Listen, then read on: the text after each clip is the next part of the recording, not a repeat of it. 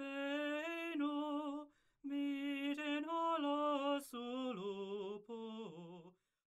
When we think of wine, I think it's most often associated today for its alcoholic properties. And people might have a glass of wine on a Friday evening uh, while watching something on Netflix. But in the ancient world, wine was much more widely used and much more widely important than it is today. It was used as a foodstuff, but also uh, in medicinal cures. Uh, and it was also used for cooking. It was used for a very, very wide variety of functions. And today I want to talk about wine and feasting. So, as part of this session on feasting, uh, wine is a critical component of feasting uh, in the ancient world, especially in the ancient Greco Roman world. My name is Conor Trainor. I'm in the Department of Classics and Ancient History at the University of Warwick. And uh, this is in Vino Veritas, making wine in the classical world. So, the opening picture here, we see the god Dionysus uh, seated. He's the god of wine in ancient Greece, and he's holding out a cup known as a kylix. And this is a wine cup. He's holding the cup under um, vines with grapes on them, as you can see. And I thought this is quite a nice way to begin this lecture because we can see um, really a very physical manifestation of, of wine. And the fact that the Greeks had a god specifically um, concerned with wine, I think attests to its importance. We don't have um, anything really quite like that in the modern world.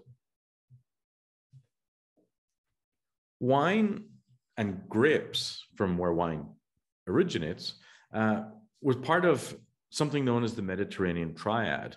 And this is really the fundamental elements of the Mediterranean diet, which include olives and the secondary product, olive oil. And olive oil and olives were used, uh, again, as foodstuffs in medicine, uh, for lights, um, for oil, as, as we would use oil, for a range of other things, for hygiene as well. Uh, we have wheat or grain, which was kind of the main source of calories in the ancient Mediterranean. And we have grapes, which were, again, important as a foodstuff, but also as a drink. Uh, and they would be, they, they're the basis of wine um, for consumption, but also wine in medicine and wine um, for a range of other uh, uses. So, wine at its most basic is a combination of grapes or grape juice specifically and yeast. And when yeast, whether it's natural yeast or yeast from a little sachet for anybody who's interested in baking, um, when yeast combines with the sugar, the natural sugars in grapes, um, we see this process known as fermentation. And that changes grape juice into wine. The particular type of grapes that are most associated with are the particular class of grapes that are most associated with wine production are the Vitis vinifera, the so-called domesticated grapevine.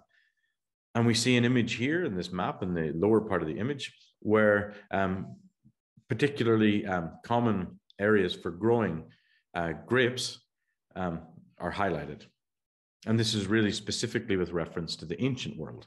So you can see all around the, the coastline of the Mediterranean, especially in the northern coasts, and um, in the Black Sea area, and then over to the um, so-called Fertile Pre- uh, Crescent and by the Tigris and Euphrates rivers uh, in the Middle East. So wine was very widespread, and it almost certainly found its origins in and around the area of the Black Sea. Here's just a gratuitously nice photograph of a, of a vineyard. To grow grapes, you need to have a certain amount of sunshine uh, and certain amount, amount of warmth as well. And ideally, grapes should be grown on, on gently sloping hills. In, in Greece, particularly, its north sloping hills are, are, are generally regarded as being best suited for grape production. So wine is made in three basic steps. There are dozens, if not hundreds, of variations in how we uh, in the winemaking process, but the three basic steps have remained the same since antiquity. The first one is harvesting grapes. The second one is pressing grapes and extracting the juice. And the third one is putting that juice into some sort of a vessel for fermentation. And as I mentioned, fermentation is when yeast reacts with the sugar in the grape juice.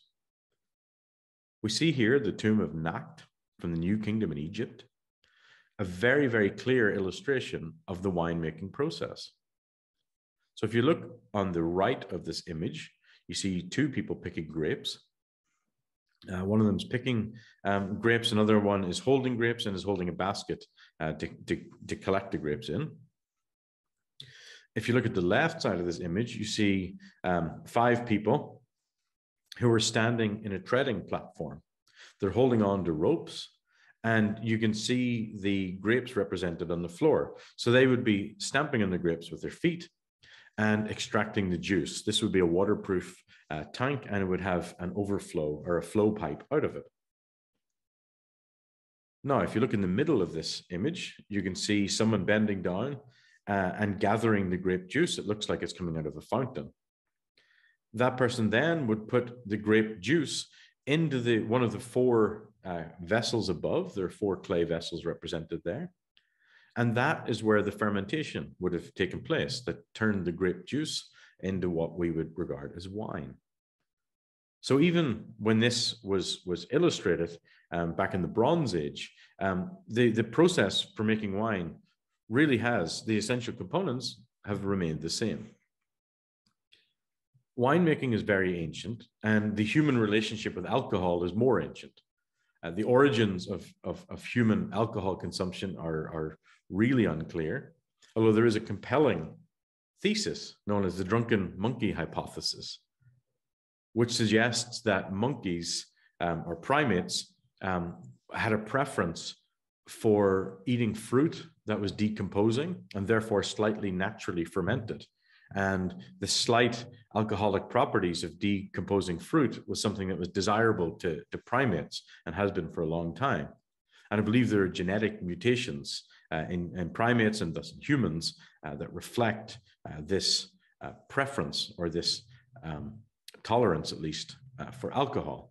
Um, it's a somewhat humorously titled um, theory, but it has genuine academic merit uh, and, and deserves consideration.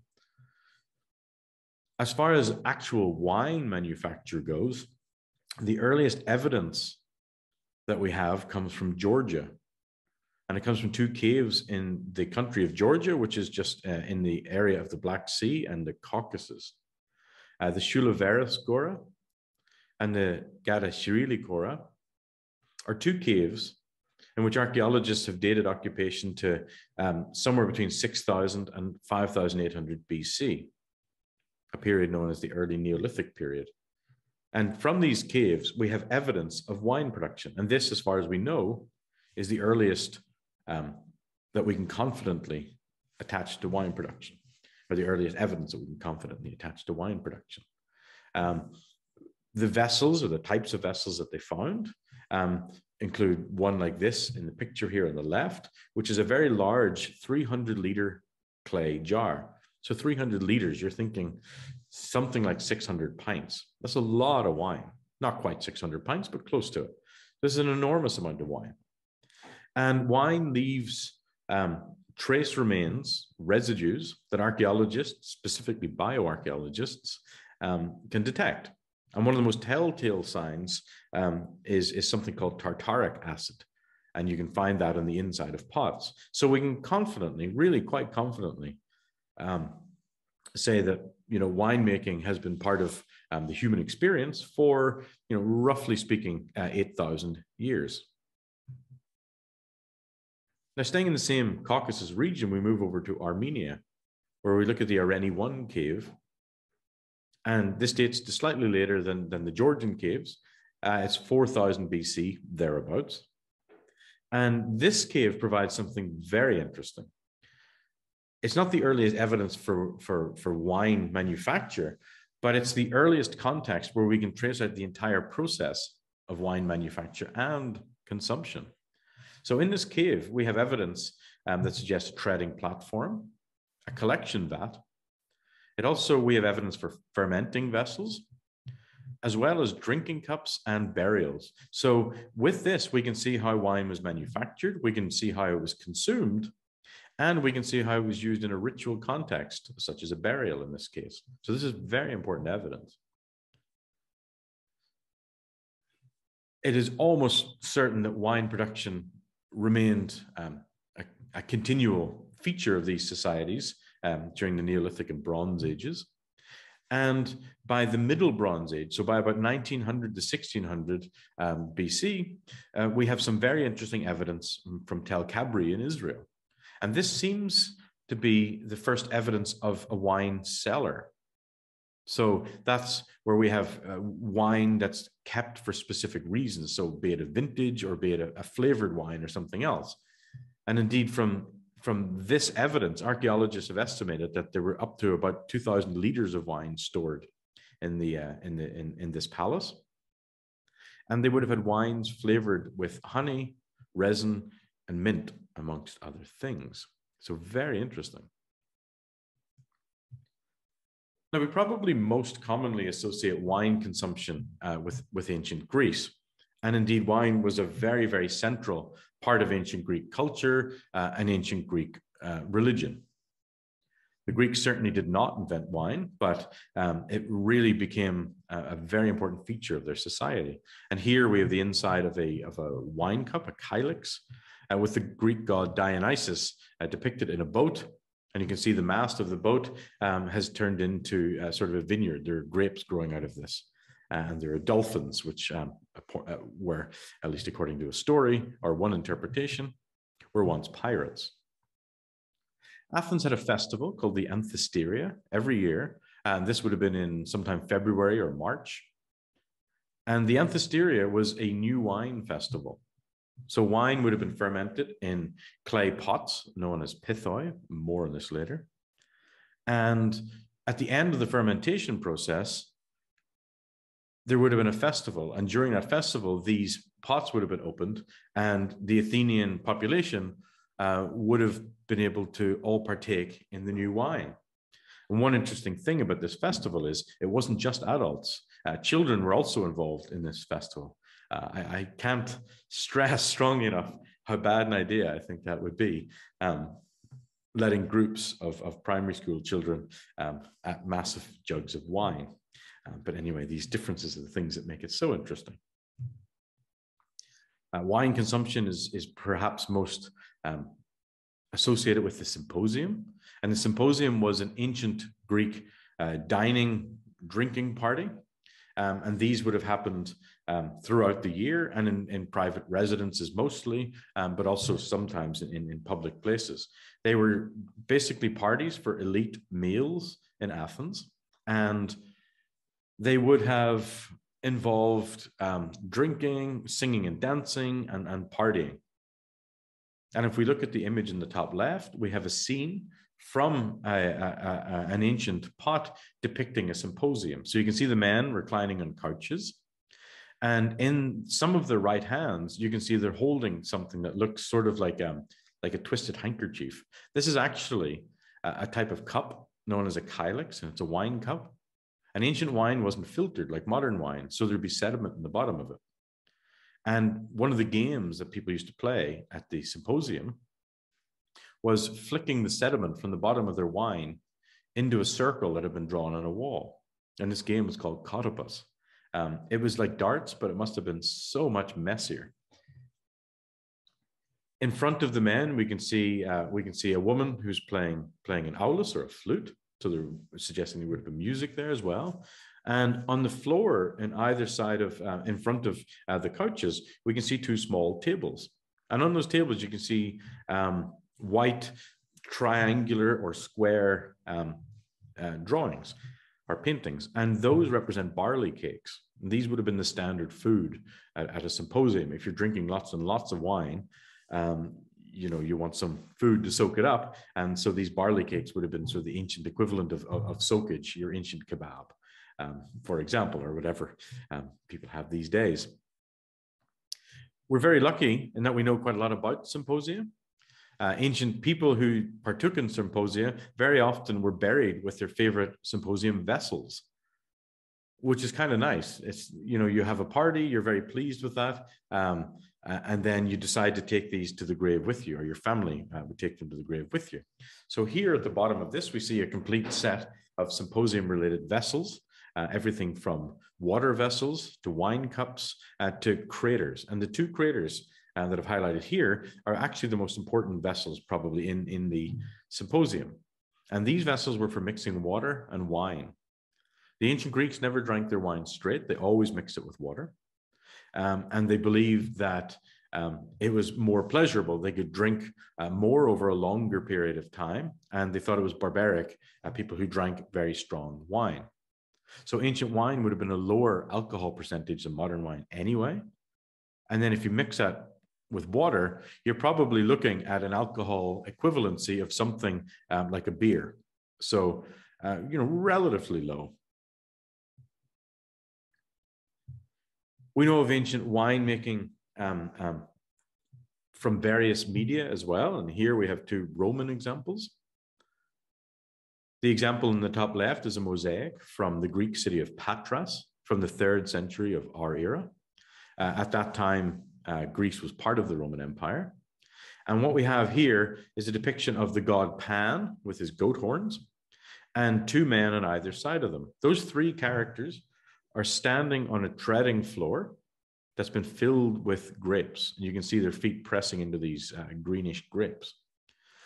They're creating a juice from pressing them, and the juice is flowing out of pipes and into three clay vessels in the lower foreground of, of the mosaic.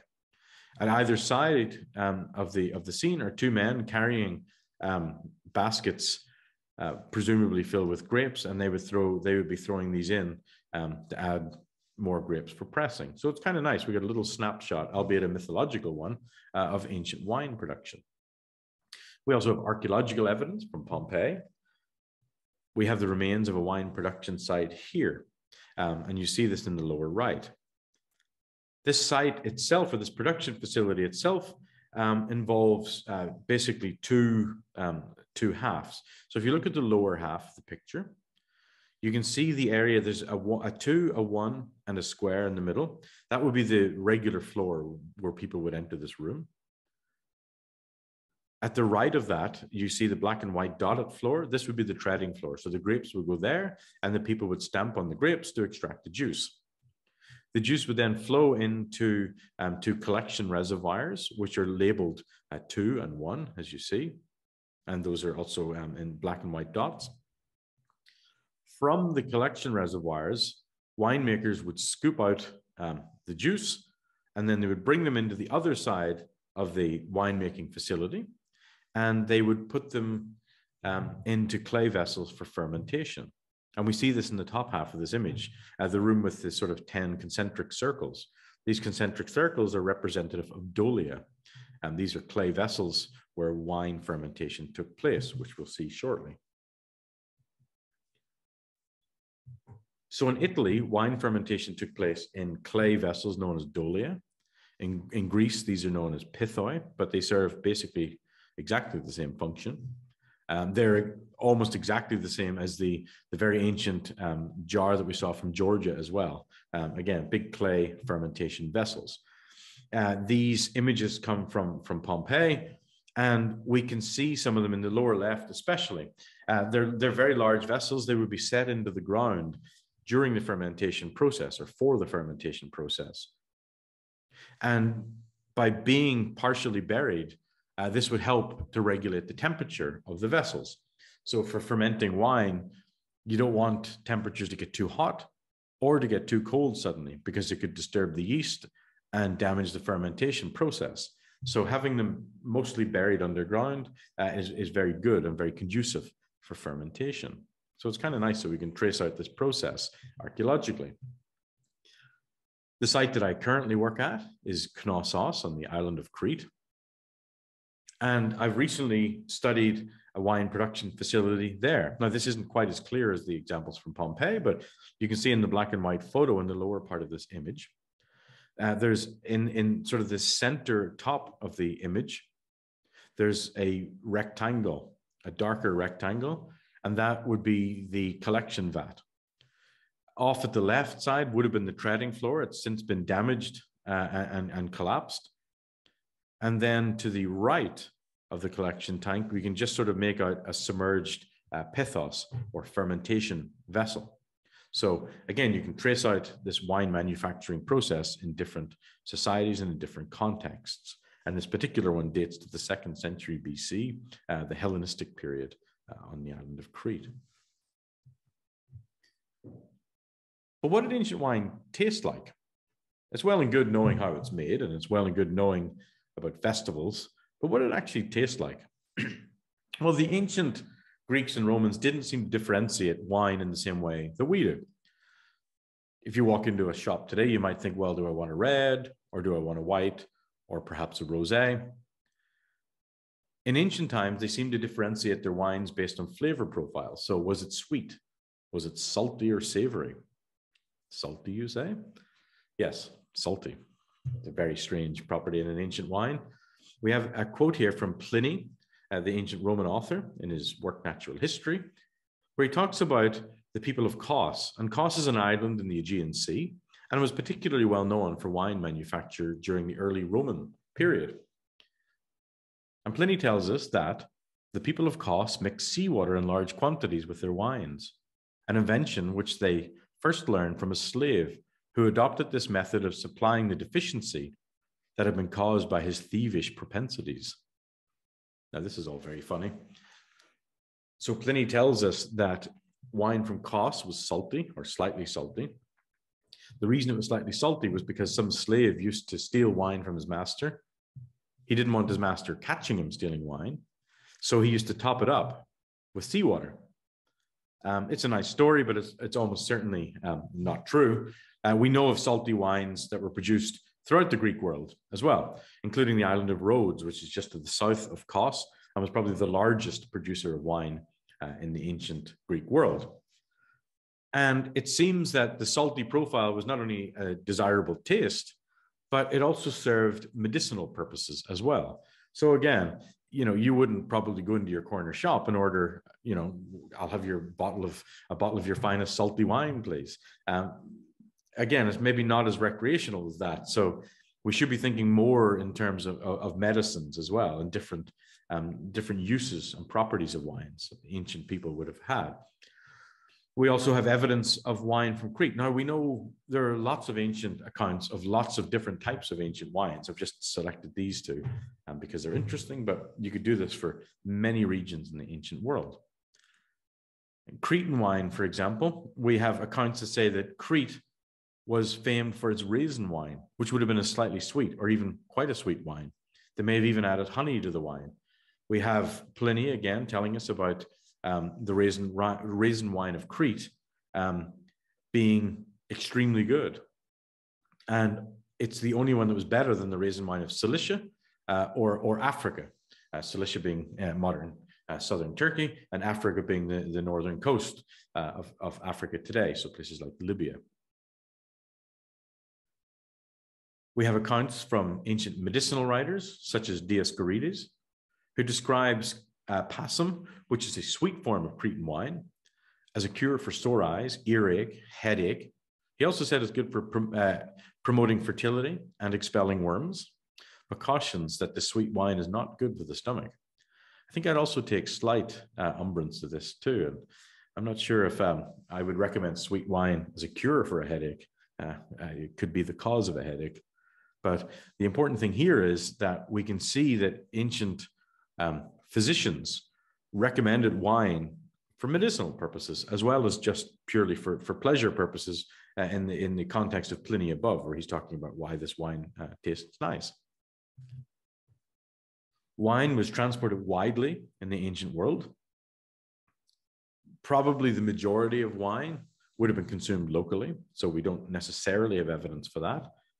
But when wine was shipped, as it was um, in very large quantities throughout the Mediterranean, especially, it tended to be shipped in clay vessels known as amphorae or amphora in the singular.